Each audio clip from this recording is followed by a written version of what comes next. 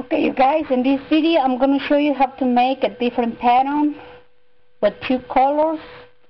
So um, I hope you guys like it. But this time I did not go into talk, so I hope you guys can understand me better. So we're going to begin now with marking.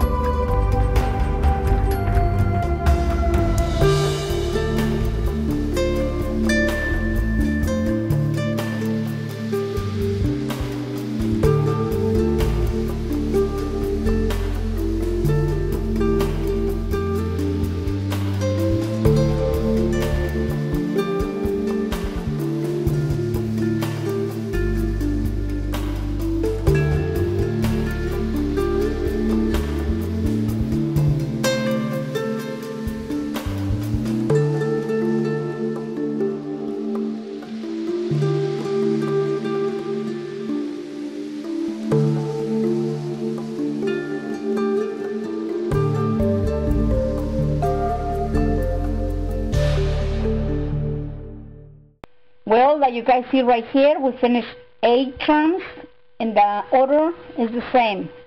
The way they are right now is the way we begin. Do you remember that?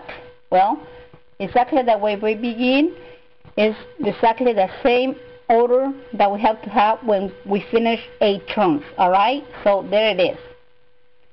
So the pattern going to look like that. I hope you guys like it.